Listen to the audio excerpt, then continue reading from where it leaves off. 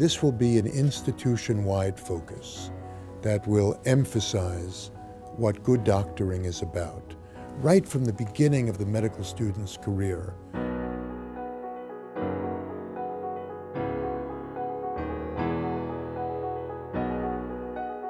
Our goal in setting up this institute is one to um, further doctor-patient relationships and to keep the idea of patient-centered medicine in front of those students who are enrolled in it, the mentors who are helping them, the master clinician. It will emphasize the doctor-patient relationship, will emphasize shared decision-making, cooperative interactions, negotiated decisions between doctors and patients, respect and empathy for the patient. And, and I think the outcome can only be good. I think the relationship between Dr. Siegler and the Bucksbaums uh, was really served as the role model on which this whole program was built. Uh, I think Kay Bucksbaum saw uh, in Dr. Siegler the characteristics that epitomized what she felt was the ideal way in which doctors should interact with their patients. Communication problems in medicine are widespread.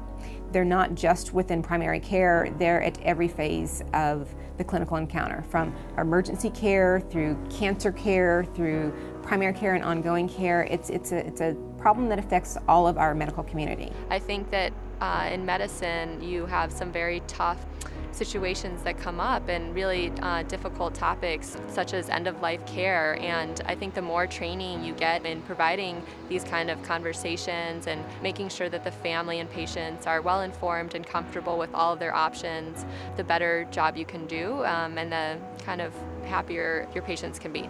I anticipate that in 5, 10, 15, 20 years, uh, this program will have had a significant impact not just at the University of Chicago, but more broadly.